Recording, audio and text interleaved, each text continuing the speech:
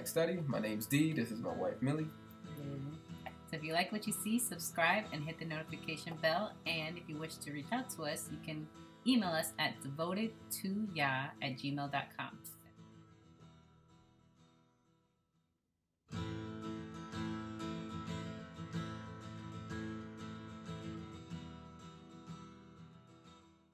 Let's go back to Matthew 12. So again, verse 22. Then one who was brought to him, who was demon possessed, blind and mute, he healed him. This is a taste of the future kingdom that is being given to us by the Messiah himself. Nobody has ever been able to do this kind of stuff until he walked on the planet. And then, yes, uh, Shaul, Paul, was blinded. And then uh, I think who was it? Ananias, I think we read. We saw this. Ananias in Acts chapter 9, verse 17. Right? Yahuwah used him to restore Shaul's sight. Okay. I was reading here. I just looked up. Somebody asked the same question that I was uh, alluding to. Did anyone in the Bible besides Yahusha ever heal the blind? And so they, they answered some questions here. Um, but this is this is amazing. This is a this is a, uh witness to Yahusha's calling and and the New Testament in general. Um, now the Pharisees. Oh, so they're asking the question: Could this be the son of David? That's why I went to all this. Is because they're asking the question: Could this be the son of David? Because they know that these are attributes that belong to somebody that is greater than David himself, greater than Elijah, greater than Moses, greater than any of the apostles or prophets, or I should say, any of the prophets, right? They knew they were expecting this. So at least they were asking the question. Verse 24. Now, when the Pharisees heard it, they said, Oh, my, matter of fact, let me go to uh, what D-Rail gave me. You want to Another- another- another witness to this, D-Rail sent me this chart, and we had discussed this a while ago, and he he loved this, so he recently sent this to us. But here's another witness to Yahusha or God. Let's just make it let's just make it real. God, the Almighty, the Mighty One, the, the Yahuwah, the Creator of the universe. It was prophesied that He would die for us. So here are the names of the tribes that make up the 144,000 uh, look look at Revelation chapter 7 and what these names mean. Judah means I will praise Yahuwah. Reuben, he has looked on me. Gad, he has granted good fortune. Asher, happy am I. Naphtali, my wrestling. Manasseh, making me to forget. Simeon, God hears. Levi, joined to me. Issachar purchased me. Zebulun, dwelling. Joseph, God will add to me. Benjamin, son of his right hand. So altogether, I will praise Yahuwah. He has looked on me, granted good fortune. Happy am I, my wrestling, making me to forget. God hears me, joined to me, purchased me, dwelling. God will add to me, son of his right hand. Now, notice what happens when the meaning of the names are combined in the same order into a paragraph. I will praise Yahuwah, for he has looked on me and granted good fortune. Happy am I because my wrestling, God is making me forget. God hears me and is joined to me. He has purchased me a- a dwelling. God will add to me the son of his right hand. Now, now go to the top, very top. All right. Where it starts with Adam. All right. Here we go. That's the one you want to read to. Thank you. The names in the Genesis have meanings that, when put together from the bloodline from Adam to Noah, tells the gospel.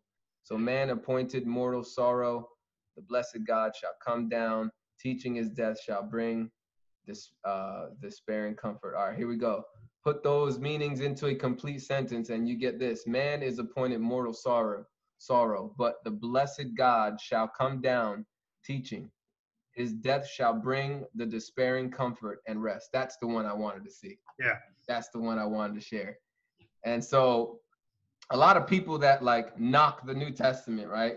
All these so-called Israelites, Torah keepers that they start off believing in the Torah and the New Testament, but then they start dibbling dabbling saying that Paul is a false apostle, and the next thing you know, they do away with Paul's letters. And then they start saying, oh, there's inconsistencies with the gospel writings as well. So now they just get rid of the whole New Testament entirely and say, oh, we just believe in the Old Testament. The New Testament's fake.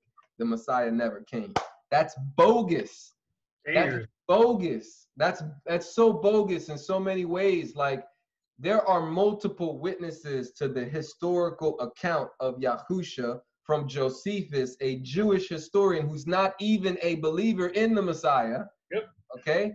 And the temple was destroyed in 70 AD, shortly after he was resurrected. Like there was so there's so much witness to the ministry of the Messiah and what he did.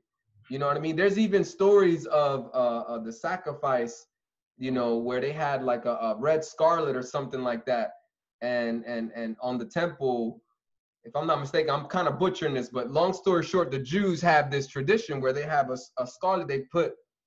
I think it's related to putting it on this animal, a scapegoat or something like that. And if it turns a certain color, like red, then it means God has accepted our the the, the uh, sacrifice for Israel. Hmm. But when the temple when the temple was destroyed, or or sometime sometime around the time where Yahusha died, it said it, it said in this in this historical. I gotta find the source. I'm sorry, I don't have it off the top of my head, but it says that it did not change colors, meaning God no longer was accepting their sacrifice. And uh, this is not coming from a Christian historian. This is coming from Jewish, a Jewish resource. I would love to find that, but I don't have it for you. I'm just talking off the top of my head. If I do find that, I'll tell my wife to add it, add a link Yeah. uh, below on this video. But man, there's just so many uh, witnesses of why the, the Old Testament and the New Testament uh, both are are are meant for each other. Uh, Yeah, I mean, the witnesses are in the names from Yep. Adam all the way to the tribes. That's huge.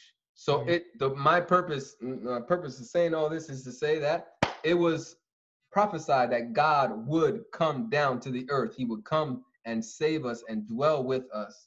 Yep. Hence Emmanuel. Emmanuel wasn't just going to be some other deity or some other being that's a son of God. He's more than a son of God. He is God himself who chose to become a son of God because in order for you to do what a son of God was prophesied to do, you have to be a son of God. You have to be part of the creation. That's part of God's plan. He said that he's going to raise a seed, the seed, right? Yep. That Satan would be against, have enmity against the seed of the woman. but she always has. it So there was always going to be a human savior or a human, some type of human hero. Well, Yep. guess what? God always wanted to be the hero. He always wanted to be the hero. So he's not going to give over his glory and his honor hmm to a created thing that is not himself. Instead, he will become a, a created thing. He will become part of his own creation so he can save us. And and somebody said it this way. He he pretty much went into uh I forgot how this guy says this. He, he says it real good. It's almost like going into your own video game that you created to save your video game or something like that. There's my wife in the background just getting in. Let me Uh, can I share something go ahead. Yep. to to prove like your point as well. Like also that you were saying the the crowds they knew the scriptures. They knew because they obviously must have read it. They would have never said that. hmm They they followed the scriptures as well. Uh, John seven, verse forty to forty two says, "But many from the crowds who heard his words were saying, This is truly the prophet." Others were saying, This one is the Messiah. Others were saying, Can the Messiah come from Galilee? 42. Has not the scriptures, so they knew, said the Messiah is coming from the seed, the seed of David, and from Bethlehem, the village of David? Now, from the seed, a lot of the, the Jewish people, they want to believe David himself, I believe. They have that, that he's coming, but that doesn't make sense because it says the seed of David in the scriptures. It doesn't say David himself is coming. So I think about that, you know? Yeah, absolutely, man. Listen, it's very simple, and a lot of people try to try to talk their way out of this as well. That that Yahusha is not from the seed of David. That Joseph didn't, uh, you know, it, it doesn't matter. Let's it doesn't matter. Mary comes from the seed of David. That's why they did her genealogy as well. But either way, it's not impossible for Yahuwah to take the seed of Joseph and put it into Mary. That's not complicated. That's a possibility. But either way, even if that didn't happen, Genesis says that it's the seed of the woman. Yep. So regardless, regardless, it's coming from the woman. Yep. God went into a human woman who comes from the lineage and genealogy of David. So it all works. And David comes from Abraham. It all works. Yeah, and that is why that is why the evil one from Genesis tried to mess with the seed. You know, they had a mixing with the women and the angels. He's trying to destroy the seed as much as he can. Yep. And so anybody, anybody calls himself an Israelite, Jewish, I don't care if they're Jewish. You can call me anti-Semitic. I don't get I don't give a crap.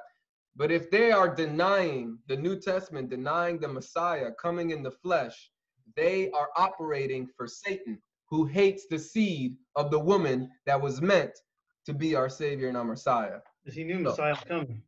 Yep.